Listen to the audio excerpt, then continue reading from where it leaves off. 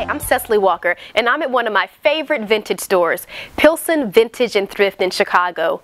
And today, I'm going to give you a few tips on how to date and identify vintage clothing. This is from the 60s, and my first tip, if possible, always look at the tag.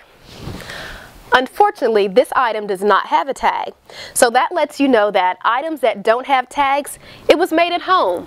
You can also tell that it was homemade by the inside stitching. After the 70s, things began to be mass produced. So this item is from the 60s. It's called a tent dress, meaning it fits at the shoulder but has no waistline. This was a very popular dress in the 60s. Now we know it as the baby doll dress.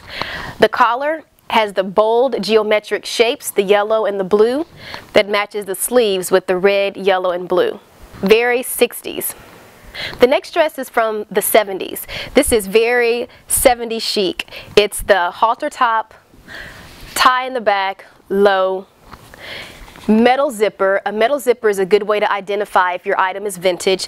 In 1963, they started using nylon or plastic zippers, but anything previous to that year was usually metal.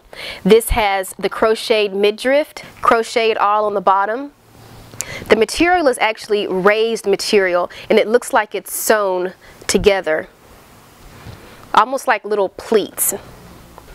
Another way to date and identify vintage is by the tag or the designer. So hopefully if, if, there is a tag, the designer's name is here. This particular designer is A.J. Bari. A.J. Bari was a very popular line in the 80s, known for the lavish dresses, cocktail dresses that were worn. Think about Dallas style.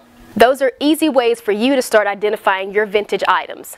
I'm Cessily Walker coming to you from Pilsen Vintage in Chicago.